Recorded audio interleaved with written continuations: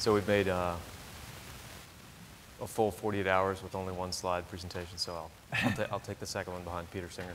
Um, so very informed audience here. I won't, I won't, uh, drum on about the history of the Joint Special Operations Command or the community, sort of the evolution starting in the 80s, but the theme of transition uh, that we went through is uh, a subset of everything that's been talked about here over the last two days. Um, so if you, if you consider, consider the way the, the model was created inside of JSOC over its 20-year history pre-9-11, we basically uh, entered the battlefield, and uh, Yanni and I served in uh, similar units during those, those windows, um, st structured like this. You, you, you, could argue that it was doing something different, um, and we certainly thought that as we, as we entered the fight, because we were able to move so much faster than traditional systems could uh, in the 80s and 90s.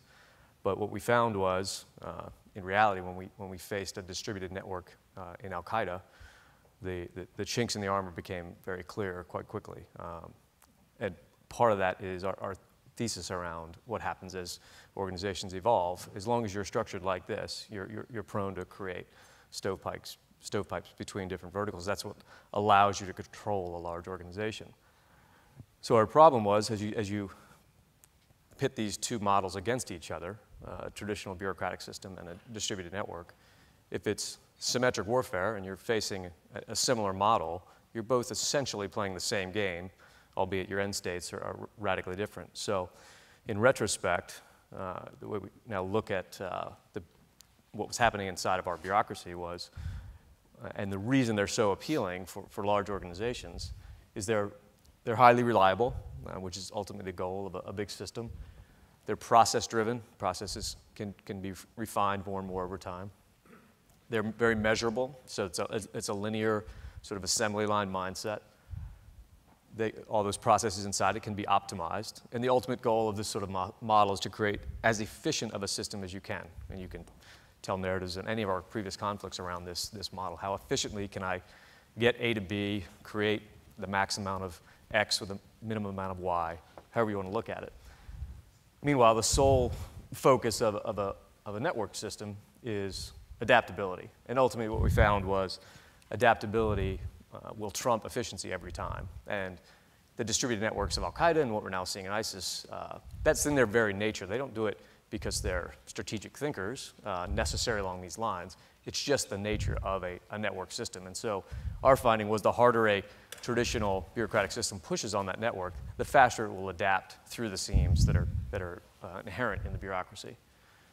And so ultimately what we had to become was some sort of uh, hybrid system where the strengths of the bureaucratic system could sit in the background. This is how you train soldiers, deploy forces, fix helicopters, et cetera, et cetera. Same thing in industry and government. There's a lot of strength to the, to the power of a, of a grown and healthy bureaucracy. But over top of that, we had to let, overlay a network system that allowed individuals or nodes to cross traditional boundaries with information, decision rights, uh, moving into other, other folks' battle space, et cetera, which, which required a, a, decentralization of trust much deeper down into the organization than we'd ever seen before. And the end state was this constantly morphing picture of subnetworks that night over night for years over years were allowed to actually drive uh, what was happening inside the organization. Meanwhile, the overarching strategic uh, and stability came from the, the, the, bureaucratic model that sat in the background. So I'll, I'll pause there. So, Yanni, so Chris has described, so JSOC had to become a network to defeat a network as the kind of, uh, I mean, I, I would, was, can you reflect on that? And also, I guess, you know, the US military is by definition a, you know, a very hierarchical organization. And if you're talking about pushing decision-making further down, uh, the kind of further down in the ranks, and somebody makes a mistake in this kind of model, you know, are they treated in the same way uh, that they would be treated in a traditional sort of military bureaucracy? because you're going to have mistakes at a lower level with this kind of model, right? Yeah, no, absolutely. And, and, and I think Chris and I have talked about this a bunch of times that, uh, you know, the, the, the network to defeat a network is not enough in itself. I mean, a lot of the other speakers have talked about you know, dealing with Salafists versus Sufis. They talked about dealing with uh, the hearts and minds of the engagement with the local population and, and all those things. But in order to get that space to do that, you needed an enterprise that was focused, narrowly focused, on kill capture of the most radical elements of, of, of, the, of that network. So there are other inputs that need to be you know, put in place in order to defeat a network. But, but the way that we approached um, you know, the problem set was to, to create an organization to defeat another specific organization at a time and place you know, at that time. If you, if you look at this and Al Qaeda in Iraq or the Taliban, whatever, uh, you you you need to take another step back and say, okay, that was then, this is now. How do we tackle ISIS? How do we tackle different elements of ISIS? The ISIS, as Doug pointed out earlier, uh, that's closest to Baghdad or at Mosul is not the same ISIS that's at Raqqa. You know, the, the enterprise that goes after this network needs to be created specific for this. Um, yeah, and I'd offer the, to your point, there, there is risk in this model, but there's risk in moving too slow in a traditional model. Sure. Um, and we, part and parcel of, of running an organization like this comes with pushing down enough information so that if you consider these smallest sort of, albeit just an abstract model, these yellow dots that are out there on the fringe outside of the normal boundaries of the organization, uh, the ultimate goal and where we were able to get to was that it, the model sort of flips on its head. So the traditional bureaucratic system, even the military, of you know, receiving guidance, indexing that against the intelligence as you see it on the ground, going up and asking for permission, then be given that permission and executing. Uh, we had refined that down to as fast and efficient of a model as you could create, but it still was several hours behind the decision curve of the Al Qaeda network. And so the only way you could get ahead of it was allowing those dots to move before they have permission. And so to do that, you have to push constant strategic understanding into their realm, which means you have access to things that traditionally you wouldn't at that lower level. And you can reach across boundaries into other agencies, into other forces, and say, what, what, I need to know exactly what you're seeing right now because I need to move in the next 20 to 30 minutes. I can't seek approvals. The, the opportunity will be lost by then. So you have to you assume some, but you, you, you counter it by ensuring the right strategic information is down at that level. And you also brought other people than the military into the network. Absolutely. I mean, who did you bring in um, as, as the fight against AQI developed? Uh, I mean, first of all, you know, there, there was, um, there's more to just AQI. Okay, there, there are other elements that you're, you're combating out there. I mean, there's, a, uh, it's not just um, specific to Iraq, it's, it's more of a, of a global enterprise. So you're actually involving the experts in certain, you know, counter network uh, uh, activities within the U.S. government, outside of the U.S. government, uh, within the U.S., and then uh, in, in, kind of in the international partners. I think that uh, uh, that, that's something that um, SOCOM has done, you know, uh, uh, bigger than just. But specifically like Treasury, FBI. Absolutely. Yeah. I mean, you got to go after the money. You got to go after the, the, the rat lines of, of people coming in there. You need to go after the, the individual leadership.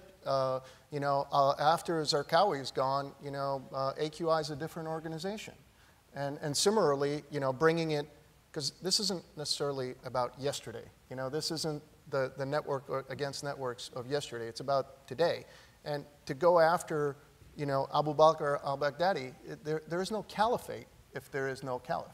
Hmm. Uh, so, so you're going to have to target the individuals, the kill capture mission, and you're going to have to target different aspects of the organization to include the money, the, the, the rat lines, and everything else. And in order to do that, the military is not necessarily the, the, the, the element that's going to do it. And all of it is based on intelligence, so you obviously need uh, a, a, very heavy uh, uh, you know, reliance on that. And some of it is you know, US born, some of it is local. Um, Since this is a policy question, I won't address it to Chris because he's still in the reserves, yeah. but uh, I'll address it to you, Yanni, sure. which is, so this model that, you, that we see up here, yeah. this uh, sort of networked distributed model, uh, how does that fit with the, what we're actually doing right now against ISIS? Well, I mean, the, the, the natural answer is it doesn't. and, and, and the fact is that, you know, we, we heard earlier uh, General Odierno mentioning, you know, that we are training brigades to take over Mosul. Is that a good idea? No. I mean, it, we have to train brigades. You have to train the Iraqi army to react in certain ways. But that's not, you know, our, the strength of what we're talking about here. The strength that we're talking about is small units. You know, I mean, you know, if I, if I was king for a day, I would, I would tell you, you know, to, to jump a couple of questions, I, if I was king for a day, I would tell you that you know the first thing that you do is you deploy a special operations task force to counter this network. You don't deploy a division headquarters.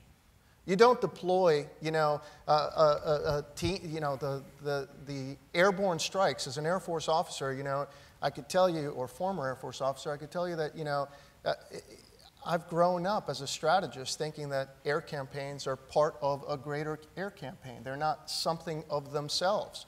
So the idea of the way that we've approached it is, is quite frankly just poor. I mean, I, I could go sadder than that, but you know, I don't want to be, a real downer here before we get uh, to the question yeah. and answer if, session. If I could circle back, uh, avoiding the policy debate, um, the, but you bring up a, a, a good point, Peter, about um, who, who else is involved, and, and here's what didn't happen in the evolution of this model. There was no 400-page playbook. There wasn't a, a, a, RAND study that said, here's what it's going to look like in four years, start building it. Um, because it was impossible. There was a mentality that said, this bureaucratic system is too slow, it's not working, so let's start to push the envelope and see what, what unfolds. So the whiteboard was sort of wiped clean, and we were allowed to start from scratch. And then what that allowed you to do, and this is why it took, it took time, was every time you, you encountered a situation where we moved too slow on that, we didn't have the right access on that, we didn't have the right information, you could then go back into the bureaucratic model and say, okay, what was, what's the blocker there? Why can't I get that intel when I need it? Why can't I talk to that battle space owner? Why can't I reach back into DC and ask this question? And then somewhere in that, in that structure, there's an answer. Well, there's this regulation around this relationship. Here's the memo that says I can't tell you until this happens. And then you can piece those things apart, either solve for them or pull them into the, into the network and say, okay, I'm comfortable with you going point to point with this, this group and solving for that in real time. There's a big difference between where we, you know, accepting your critiques, but I mean, you know, when we were, when you did what you did with JSOC in Iraq, A, we were losing, uh, and losing is a very powerful kind of corrective to previous kinds of forms of, uh, you know, whatever you, you were doing before wasn't working. Two, you had an exceptional leader, Stan McChrystal, an exceptional uh, you know, Admiral McRaven as well. Three, um, you know, we had 150,000 American soldiers uh, in the country, and we, you know, we, we really understood what was going on, partly because every night there were 12, you know, 12 raids that you guys were doing. And so, I mean, it's very different right now, mm-hmm. right? So, looking to the future, uh, we're obviously not going to sort of replicate uh, anything that we were doing in 2005, 2006. But if you were king for a day, mm-hmm. you, you would advise what? Well, I mean, look, you can't replicate exact things, but I think, you know, a lot smarter folks earlier in the day have talked about maybe perhaps repeating themes, not necessarily uh, specifics. So the idea of, of creating a theme of what we're talking about, I, I would recommend that the president, you know, introduces a a, a counterterrorism task force that's focused on targeting ISIL, uh, both obviously in Iraq and, Af- and, and, and, and uh, Syria. It, it, may be different in, in the way that we tackle it even within Iraq, not just Iraq and Syria, but, but I would absolutely form that. And I would also form a, a, a counterpart to that of SOF elements, you know, uh, uh, that, that focus on the training and advising of the Iraqi uh, security forces and or other forces that go the other way. The notion of deploying, again, division headquarters, brigades, or even the talk about a large footprint uh, force of U.S. forces going in there is, is to me, intellectually numbing. Okay, so, so, I mean, this is something that needs to be absolutely, you know, uh, you know, countering violent extremism is one thing. That's one conference that was had. You know, one another conference that needs to be had is how do we tackle this this way? And it doesn't. Mm-hmm. It won't take long to really come up with the starting blocks. You know, the decision uh, needs to be taken though. You know, history may not repeat, repeat itself, but it, sometimes it rhymes. And Yeah, so, um, exactly. Yeah. So what is rhyming right now, uh, Chris, for you when you uh, look at AQI and which is the parent organization of ISIS? How are they, how are they similar and how are they different? Well, I think the, the obvious one that jumps out, I'm sure everyone in the room, is uh, similar individuals. I mean, there are key folks inside uh, ISIS that, that were born and bred and, and, and, and grew up inside of Al Qaeda in Iraq. Um, and in some ways, I, you know, you, can look at it as a, as, a, as a disease where, you know, that, the part of the disease that survives the antibiotic re- regimen is going to come back stronger. It, it, it's learned, it knows, it knows some of this, it knows, you know, better operate, it knows how to engage with the population better than AQI did, it's demonstrating that. Um, so there's a lot of lessons there at the individual level, which is now going to make it that much more impressive. And I think it's, um, it's also learned how to communicate with the world much more effectively, um, which equals its, its rapid go- growth compared to, to AQI. Uh, So, I mean, you, I you seem to imply that if we killed Baghdadi, that would be the end of it. No, it's, it's not just the end of it, but it's a good start.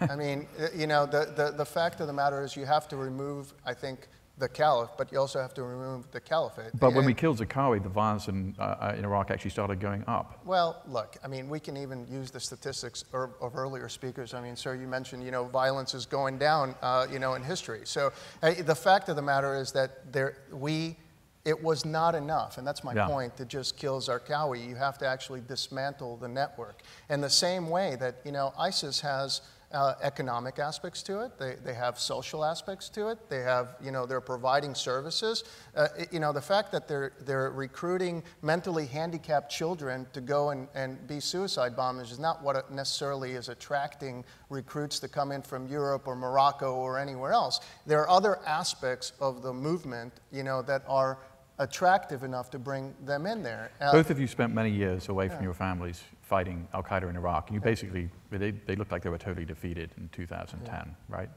So, were you surprised, or what's, what's your reaction to their comeback? It's not even a comeback, it's uh, they're bigger and better. Uh, no, I wasn't um, overly surprised. It's dis- disappointing, of course, um, but you know, given it's, it's an ideology, as we all know, um, and that there are remnants of it. You're not, you can't completely destroy it. That enough pressure was removed that they were able to, again, find the cracks in the in the tradi- traditional system. In this place, it was uh, land area that they could start to control and grow inside of. I mean, it makes it makes total sense. Um, you know, I, I, as we were talking about earlier, in some, in some ways, I, love the analogy. It's like a, an endless Rubik's Cube that you're never really going to find a solution in there, but you don't want to put it down. You have to keep, keep playing with it, looking for the, for the end state. Otherwise, um, it's going to get away from you really, really fast. I'll tell you, first of all, I mean, this is, uh, you know, the $64,000 question because the, the truth of the matter is that, um, you know, we may want to leave on arbitrary timelines, but the, the, the, the enterprise is not necessarily over because of the, uh, the, uh, the timeline that we're putting in there. Same can be said in Afghanistan. You know, 2016, we're going to have, we're going to be out by whatever. You know, that doesn't mean that the, the, that is going to be over. And, and, and similarly, you know, uh, earlier Emma mentioned, you know, the, the, the re- one of the real reasons why there's such a mess in, in, in, in Iraq is because we went there in the first place. You know, so, so the concept, I mean, one of my favorite uh, quotes to kind of uh, get into uh, um, H.R. McMaster's used the fear, honor, and interest from uh, Peloponnesian War. I mean, the, you know, your, your empire may be dangerous to take, but, you know, it's even more dangerous to let it go. And I think the fact that we're stepping away from some of these things is perhaps the more, the bigger tragedy Well, that raises going sort of in a- there in the first that place. raises a bigger sort of philosophical question, which is, you know, we, the United States, were born sort of in a, you know, a revolt against an empire. We don't think of ourselves as an empire, but these projects, by their nature, are not one or two year deals, right? Right. I mean, so I mean, philosophical questions go to him. no, no, you're right. I mean, that's, that's exactly the point. The point is that this is, you know, when you're talking about generational fights, it doesn't mean that, you know, well, you know, let's declare victory over this particular thing. The son of ISIS is perhaps more dangerous than ISIS. The hmm. son of AQI is perhaps more dangerous uh, uh, you know, than, than AQI itself. The fact that on the Foreign Terrorist Organization list, we list ISIL, parenthesis, uh, remnants of AQI, is, you know, it's, it's a bit telling in itself. You know, we don't know how to treat ISIL. It's graduated far beyond uh, AQI, but it still has certain AQI characteristics. So um, yeah, I mean, this is a long-term event. Um, the, the force, you can't close down a base like Baghdad or Balad or whatever, lock up the stuff and say, okay, we don't need to, you know, use that anymore. Uh, a shift, a pivot to Asia immediately after we get out of Iraq. I mean, uh, wh- where, you know, I'll take wrong decision for a thousand, Alex. You know, I mean, uh, yeah, uh, so. Uh, Well, on that, um, if audience members, if we wait for a mic, we'll take Heather Hurlbert right there in the back. And then Harlan, all the H's. Thanks. I'm Heather Hurlbert from New America, and I've got two questions for you both about the network over bureaucratic overlay. You can imagine, as Peter, your question alluded to, this would be a fabulous model potentially for cyber command. You can even imagine it as a fabulous model for humanitarian response on the civilian side of the house. Given how challenging it was for you even within JSOC, can you even imagine doing this in other parts of government, and what are the things that would make it possible or impossible? Second question one of the big reasons JSOC was able to do this is the tremendous amount of trust and legitimacy that it has um, on the Hill and with the American people. Given that our oversight structures, I think it might be generous to call them an efficient bureaucracy, what kind of oversight do you create for a network overlay like this so that it continues to enjoy the level of trust and legitimacy that you benefited from? Uh, sure, I'll, I'll, take the first question. Um, yes, absolutely. I think it can happen in any system. Uh, it's not easy, um, but uh, I've seen it branch out into, into other parts of government and other parts of the military and have done work in, in other spaces. We're seeing large organizations try to pick up some of these, these characteristics, and it's very doable. Uh, there's a process to how you do this. It's not, this isn't Facebook. This isn't just twittering back and forth. It's, it's a legitimate process. And how do you structure an overarching strategic intent? You have to have the right type of leadership that's bought into delivering that and being, rather than at the top of the, the org chart, as Anne Marie said earlier, pulling themselves down into the middle and creating the network around them. And they become the commu communication flow, the hub, rather than the, than the approval point for decisions. Um, it's, a, it's a different model but it's very doable if you have that clear understanding and, and you're willing to put the systems in place to, to execute those, those communications. I mean, that's, that's a great answer. Um, Tom Ricks.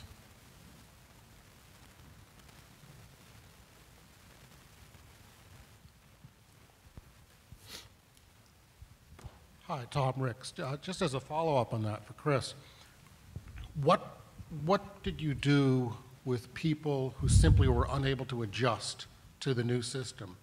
And what percent of overall JSOC personnel would you say that was? And JSOC leaders especially.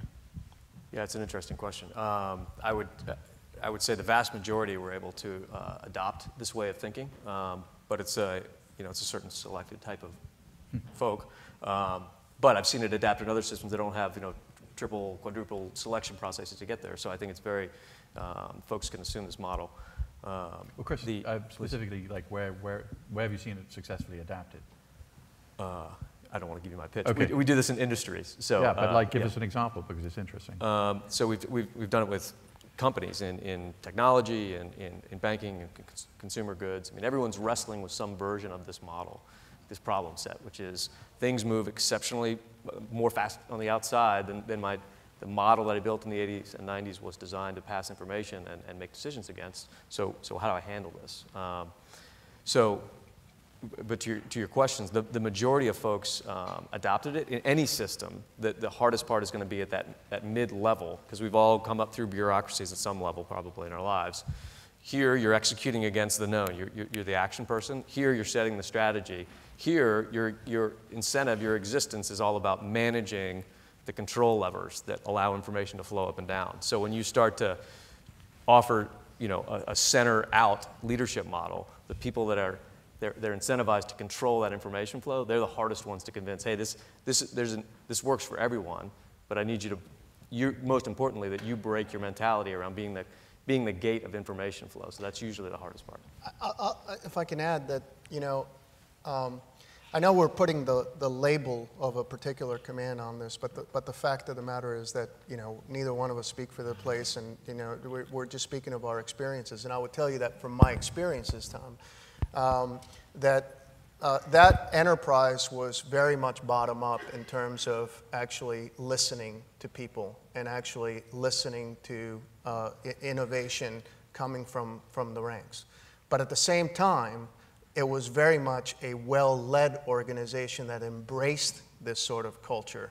So, in a way, resistance is futile as, as the, the end goal, you know, the conclusion. But it wasn't because it was forced, it was because it was well led, so people bought into it.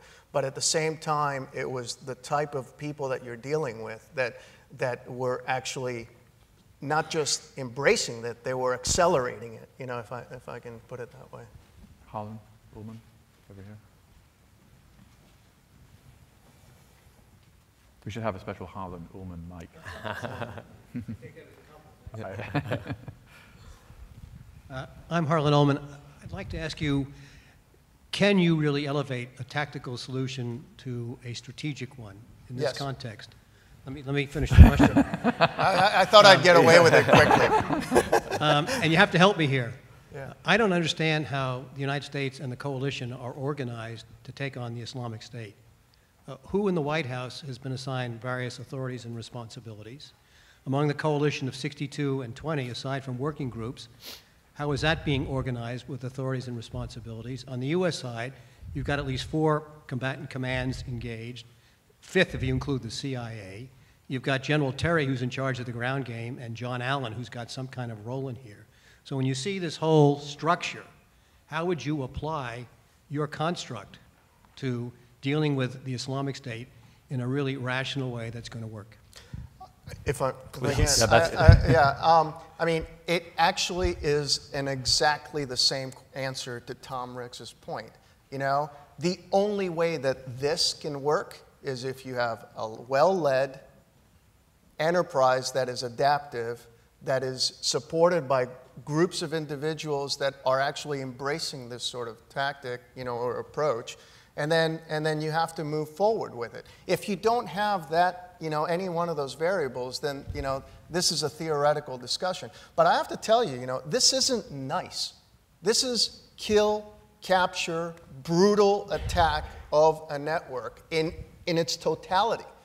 Okay? This is actually telling them that you're not going to meet the 72 virgins, you're going to meet the 72 Virginians. You know, this is, this is not going after them in a way that, you know, uh, you, you, the, the tweets that are going to come out after this are not going to be nice tweets. They're going to be, you know, maybe it, o- o- over time, maybe you don't want to take your family to Raqqa because they have kind of a nice system.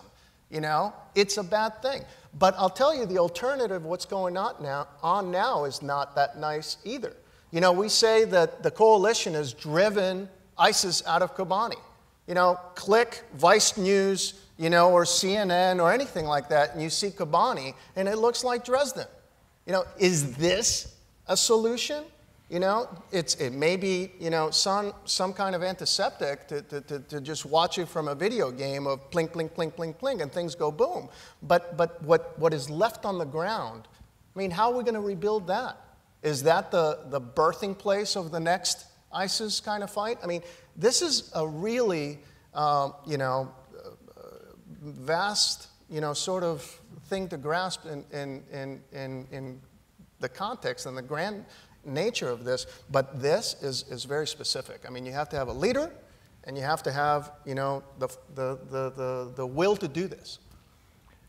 Other Uh, questions? I would offer there was a, there was a distinct clarity around mission in, in, in Iraq where um, there's a broad strategic intent to create a stable state. The subset of that that gets pushed down to the Joint Special Operations Command is defeat Al Qaeda. Because if you don't do that, I know I can't do all these other things. So then around that, we can build all these subsets. Um, with, if we hadn't had that clarity of intent, uh, we certainly could have created as much chaos on the battlefield as we were solving for.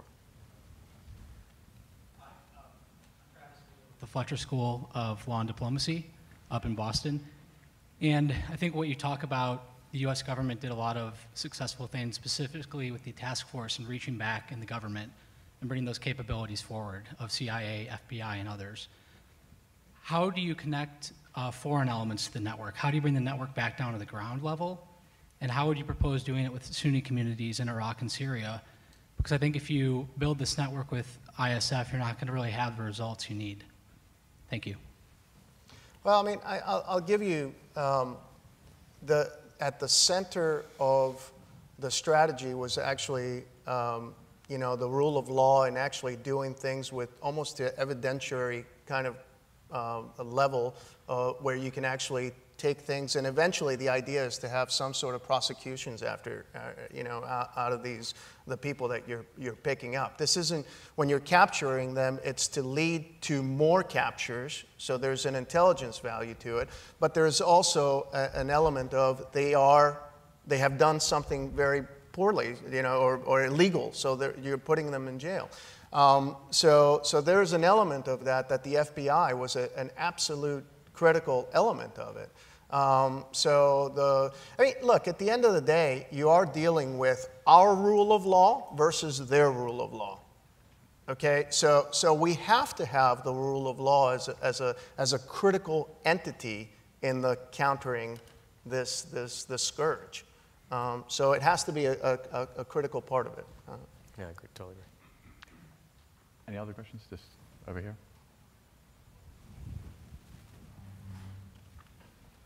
Good afternoon, gentlemen. Ben Hernandez, Naval History and Heritage Command. ISIS has evolved from AQI. Now they hold territory, they control millions of people, and they have to provide services for those people. They have to do things like be concerned about holding main supply routes from Syria into their capital city. How can we exploit that? That smells like they're becoming more bureaucracy.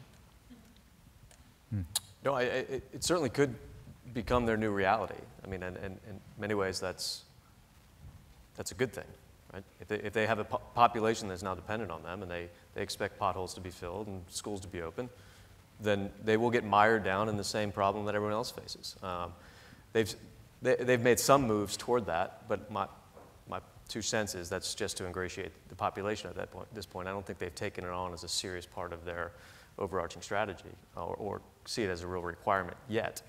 But, but they may at some point. Um, that said, um, that could be a, that's a timeline on, on, on their terms. So it's a, not necessarily the most aggressive way to focus the But I think they have also have a capacity issue. I mean, it's one thing to like, you know, Mosul is whether it's 1.5 or 2 million or whatever the number is. I mean, you know, that is a big city that's three times the size of Washington D.C., which itself has its own problems, even though it's not run by ISIS. But uh, so the point is, there's a lot to, con- you know, so there's a lot to deliver, if that's the goal. Well, I mean, look, eh, you know, yeah, I mean, we can mix it up rather a lot if we start talking about Mosul and, and Raqqa, because I mean, even those are sort of different entities.